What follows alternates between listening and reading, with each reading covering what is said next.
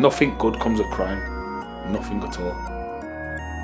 It affects so many people, has such a negative effect on your community, your family, yourself. It's just not, you know, it's not the way to live. Like, I understand why kids carry knives, I understand why kids commit crime, because I've been there, I've done it all, but I also understand the path that is going to take you down and I'm going to sit here and tell you now it's not worth it. Like I'm very very lucky to even be sitting here. A lot of my friends are either dead or serving life sentences right now and I honestly believe that I've been given a second a chance to share my message which is why I've taken the time today to sit down and share the message and tell you guys that you have the potential. So my name is Micquel Wright. I'm from Birmingham. I'm 33 years old. I served 10 years in prison I've now been out crime free, uh, running a legitimate business for five years. So being expelled from school for me was the first sign of like going on a slippery slope. And then I had like trials to go in other schools, and within two three weeks, the school's like, "Yo, this kid's too bad. We don't want him." Till eventually, um, I think I left, and there was no point really going back.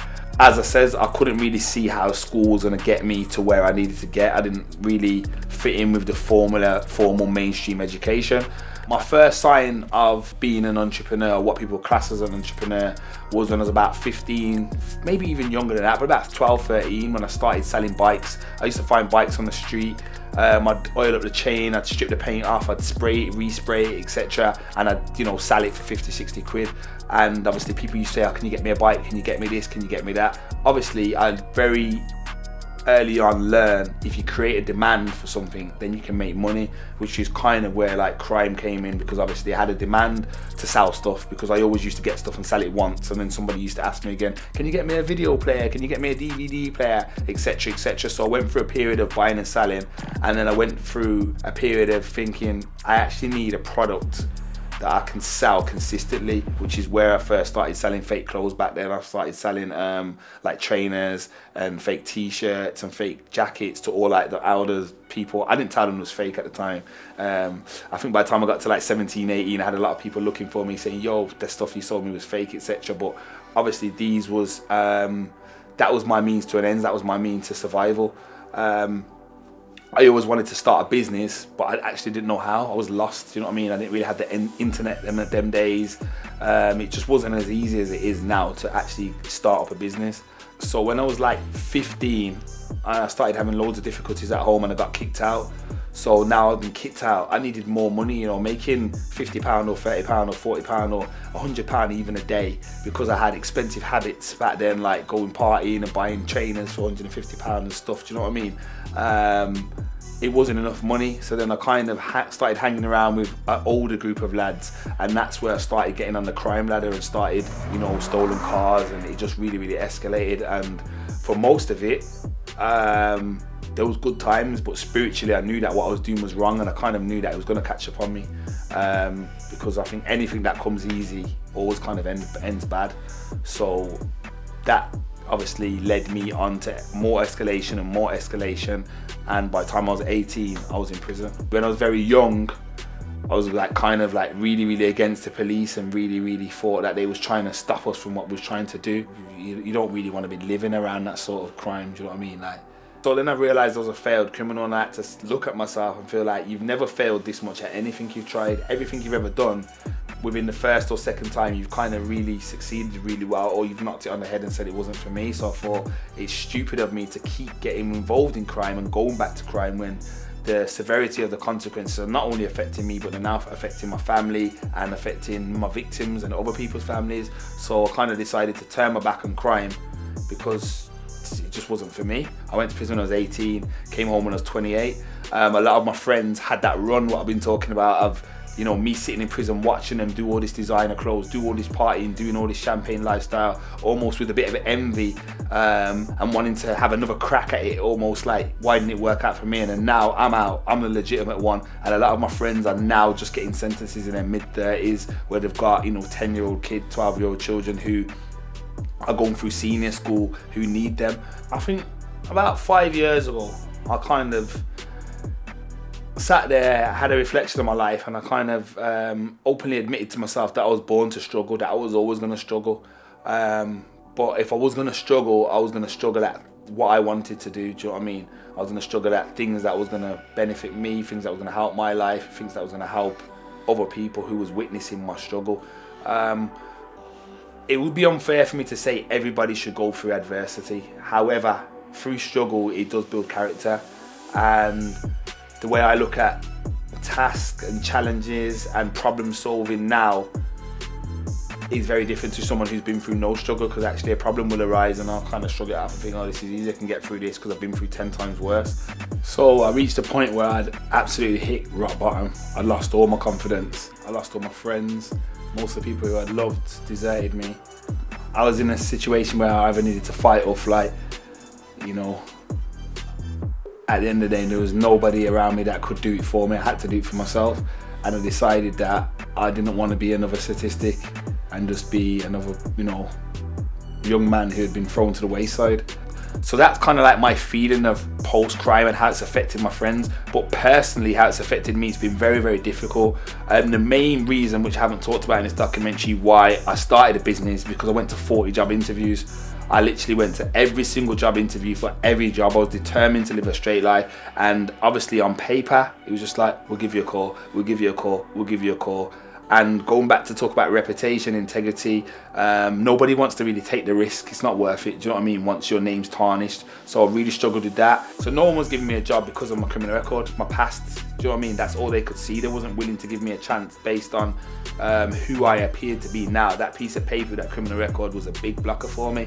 Um, also, the other difficulties for me were, and still exist, um, travel. Travel is really difficult when you're like kind of on license from prison, probation um, credit rating, you know, being out of society for so long and just wanting to get finance and having no credit rating and no history and phoning up to get a car um, for let's say £400, £500 a month, which you can actually physically afford because you're running a business that is, you know, doing enough numbers to pay for that. But when you actually try and get finance from somebody, they can't see that you're credible to borrow from them because they're saying, where have you been for the last five years?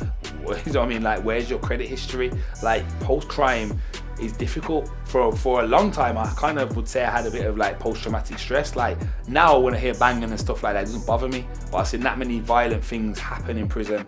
Um, people getting hot watered, stabbings, etc., etc. Even before prison, my whole lifestyle was that volatile and negative, and the things that I'd seen never really left me. Do you know what I mean? It's only even now. Um, I'm not gonna lie, a lot, some of those things um, are beneficial because I'm a lot alert. Do you know what I mean? When I walk into a place, I'm alert. The way I analyze things, there is some positives that I can take from it, but a lot of the stuff is negative. Do you know what I mean? Not being able to trust people, being suspicious. It's not really a way that um, you want to live. It's not a way that you want to live your life.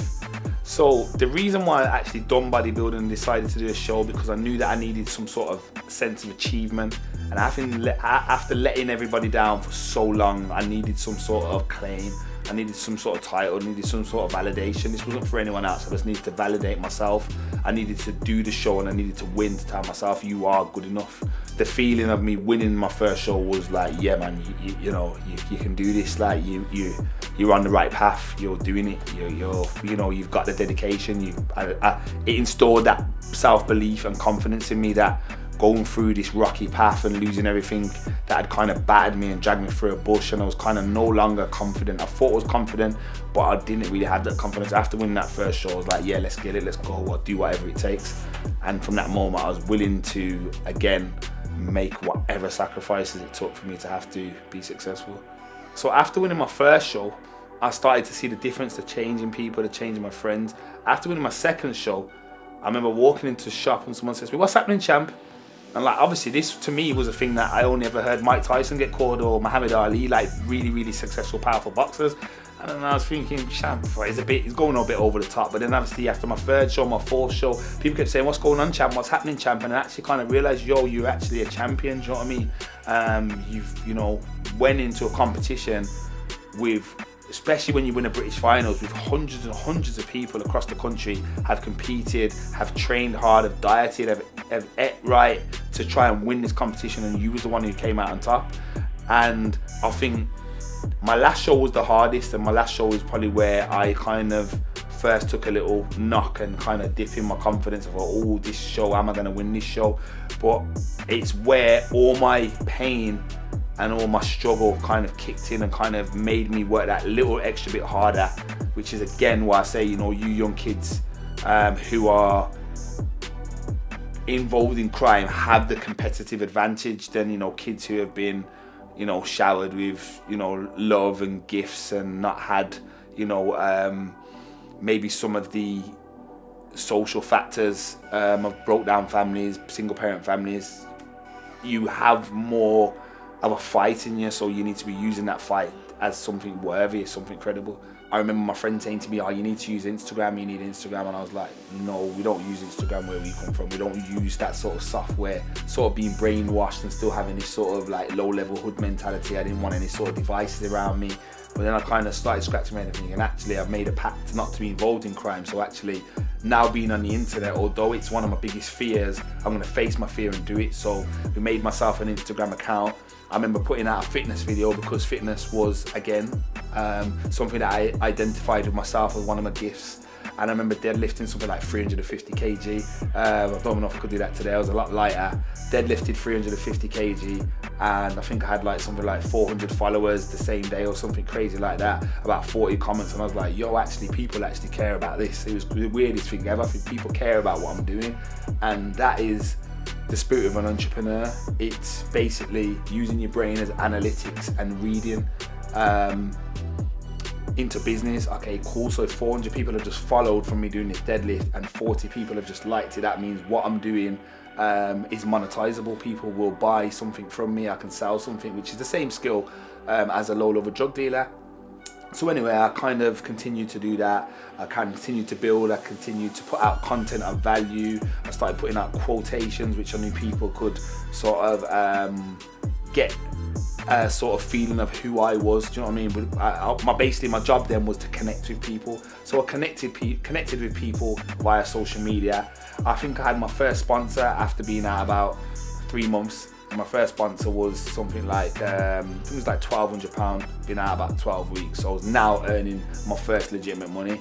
Um, I had a very close mate, mate at the time, and he was my cameraman, so we split that £1,200. We both had £600 each. Soon got a next sponsor, then I got a food sponsor, and then I got a clothing sponsor. So now I was in a position through social media where I was getting my food for free, um, I was getting my clothes for free, although I didn't like some of the clothes at the time, and I was um, making money, I was making legitimate income. So I was soon seeing the power of social media. Shortly after that, I went for a very, very rocky period where I wasn't making any money. I'd kind of lost all my sponsors, and you know, people move on and sponsors move on, and so I got to the stage and I thought, actually, I need my own product now. I need my own brand. Um, my best mate at the time kept saying to me, Venom Power, Venom Power, Venom Power, call your brand Venom Power, and I really didn't like it. I was like, Venom's my old nickname from the streets. I'm trying to get away from everything um, associated with the name Venom. And then it stuck people started commenting Venom Power, Venom Power, hashtag Venom Power, hashtag Venom Power. So I went and got some t-shirts printed, which cost me probably about 40, 50 pounds, which wasn't a lot of money. Uh, went online, visited the website, brought some plain t-shirts, found somebody who could print, and then I started putting my t-shirts on, which was my first bit of branding, where people started recognizing the brand. And then once people started saying it back to me, I kind of got a feeling. I sort of kind of created a movement. I just said to my mate, I remember saying to everyone, "Yo, I want to sell energy." You're like, what are you talking about? I'm saying like my, you know how I am in the gym hype. You know how my personality is. I want to sell energy to people. I'm like, what you want about? How you gonna do that? So I was at the gym one day and I tried a pre-workout and it sent me crazy. It was like a caffeine kick product. I was lifting more, felt better. But I had a horrible come down off it. I felt really, really bad. I had a really, really bad crash and I decided that I wanted to create a product um, that done the same thing but without the negative side effects. I managed to create my product, like my, the feeling when Venom Power came to me in a tub. In fact, the first time I created Venom Power, I created it with some partners, some friends of mine, and that was a great feeling. We went through a process of that. We um, exhibited at some massive expos, but then I think about two years in, I've done it for the first time on my own. And when I held that product and I held that baby, um, I didn't really take it in too much because like, yo, there's loads of work to be done, but actually getting somebody to come on my website that I'd built or had built for me um, from Philippines, from Australia, from Holland, etc., from all over the world to buy my pre-workout was the craziest thing ever. Do you know what I mean? And it was satisfaction um, and fulfillment that actually all my hard work was now starting to pay off. And then I really sat down and actually thought, actually, this is actually no different to selling any other product, whether you're selling a half ounce of weed, a kilo of crack, a kilo of coke, whatever you're selling, this is exactly the same thing. You've got a product, you've got a manufacturer or supplier, and then you've got a customer. To retain that customer, you need to give the customer a good product, um, good customer service, and then your customer will return. Um, which is kind of what got me thinking that a lot of the kids at the moment, or a lot of you kids, if you're watching this, who are actually committing crime and wasting your life have a competitive advantage to survive in business because you're already risk takers, you're already taking losses, you're already, you know, been through, probably dragged through the bushes, do you know what I mean, and come out the other side. So actually be patient and put your time into something that makes sense. So I've reached a point in my career, in my business, um, that I don't feel like going back to crime anymore, which is a great feeling. But I'm five years in now, and to be totally honest, for the first three years, um, it was always kind of in the back of my mind if this doesn't work, if this doesn't work, if this doesn't work. Because actually, having that self belief and that self confidence that what you're going to do is going to work, it, it, you know, it, it, takes a lot out of you. But then I've, I always had to remind myself that actually going back to crime, I'd always end up back where I was. I'd always be 10 steps behind where I am now. So actually, I just had to kind of persevere on, no matter how difficult it got. You know, I'm painting this pretty picture now, but there's times in my business where I lost my business. I think I lost my pre-workout business four times. You know, people online might have sort of forgot now, but if they really think back, Venom Power's been rebranded four times, it's been Micquel Supplements, it's been VP Supplements, I've lost it four times, where I mean, I've pretty much lost all my money in stock. I've had problems where my product went hard. Do you know what I mean? Like, but these are not problems that you're not gonna face as a criminal. You're gonna take losses, you're gonna lose stock, you're gonna have people rip you off. Do you know what I mean? So actually, these are things that I was prepared for and willing to keep persevering. These are not things that should deter you from running a little legitimate business because it's gonna be hard. It's not gonna be easy. So some of you young people are gonna be watching this and thinking, how do I start a business with no money? You're probably sitting there thinking, how am I going to do it? You can start a business for free. You can start a business right now. The minute you get off this documentary, you can literally go on YouTube, you can go on Google, and you can start your research for free. Like I said, like unbeknown to me when I was starting my business, there is actual websites that will crowdfund you. Come up with your website, you put your idea, come up with your idea, sorry, you put your idea onto this platform, and you will meet a whole network and a whole realm of people. Um, who have similar interests, similar business ideas, and people who are looking to invest in your ideas. And not to excuse the way I behaved when I was younger or the way the generations before me behaved, but it was very, very difficult to meet people um, different from the people that you're surrounded by. A lot of us became products of our environment. Now you can remove yourself from your environment, climb into the internet, and the world is a lot smaller and the opportunities are endless. So one of the questions that I'm often asked is, can you make money via social media? And the answer is yes. Um, it's not easy, it does take time. So simply, I'm gonna simplify it, build your platform, gain some traction, build a following, and then once you get your following and once people are engaging with you, and once you've kind of built yourself a little sort of tribe, a little brand, um, you can then either contact companies or companies will contact you to promote their brand. Creating an Instagram account and a YouTube account and a Facebook account, that can be literally your shop front. You can literally go from there and build a business. So here are three tips to starting a business. Tip number one, look inside yourself, be true to yourself. If you're passionate about an idea, my, my advice is that you start your business around that idea because it won't feel like such hard work. If you're passionate about something, the chances are you're gonna stick at it. Tip number two, do your research. You might be passionate about something, but do your research and make sure the product or the service that you're providing that is in line with your passion makes sense. Do your research on the markup, do your research on how much it's worth, how much you're gonna sell this product for, if other people are selling this product, where it's being sold, and how you're gonna get this product into your hand in the first place. So tip three is to make it work, make it happen, believe in yourself. A man once said to me that most of the greatest ideas are in the graveyard. People who have had wonderful ideas, spent years doing research, came up with this idea, knew it would work, but never had the balls to go out there and do it. So believe in yourself. Always remember, never forget that you have the potential.